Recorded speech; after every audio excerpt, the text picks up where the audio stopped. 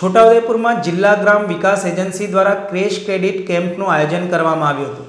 Gujarat livelihood promotion company limited તેમજ જિલ્લા ગ્રામ વિકાસ એજન્સી દ્વારા ગ્રામીણ મહિલાઓ આર્થિક ઉન્નત થકી આત્મનિર્ભર બને તેવા ઉમદા આશયથી નગરપાલિકા સંચાલિત કિલ્લામાં આવેલ દરબાર હોલ ખાતે ગુજરાત વિધાનસભાના મુખ્ય દંડક બાળકૃષ્ણ ખંડેરાવ શુક્લના અધ્યક્ષસ્થાને કેશ ક્રેડિટ કેમ્પ આજરોજ સવારે અગિયાર કલાકે યોજાયો હતો.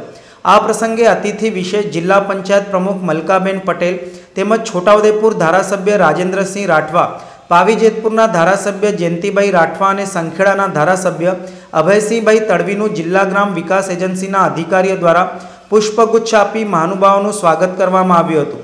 ઉપસ્થિત તમામ મહાનુભાવો દ્વારા દીપ પ્રાગટ્ય કરી કાર્યક્રમને ખુલ્લો મૂકવામાં આવ્યો હતો. દરબાર હોલ ખાતે યોજાયેલા કેમ્પના કાર્યક્રમમાં ગ્રામ વિસ્તારના કુલ એકસો ત્રીસ જેટલા સ્વસહાય જૂથોને કુલ ચારસો અઠ્ઠાવીસ પોઈન્ટ વીસ લાખ જેટલી રકમની લોન મંજૂર કરવામાં આવી હતી. જે પૈકી સાહીઠ જેટલા સ્વસહાય જૂથોને કુલ એકસો ત્રેતાલીસ પોઈન્ટ દસ લાખ રૂપિયાના ધિરાણના ચેક વિતરણ કરવામાં આવ્યા હતા. ઉપસ્થિત મહાનુભાવોના હસ્તે સ્વસહાય જૂથોને કેશ ક્રેડિટ ચેકોનું વિતરણ તેમજ તાલીમ પ્રમાણપત્રોનું વિતરણ કરવામાં આવ્યું હતું.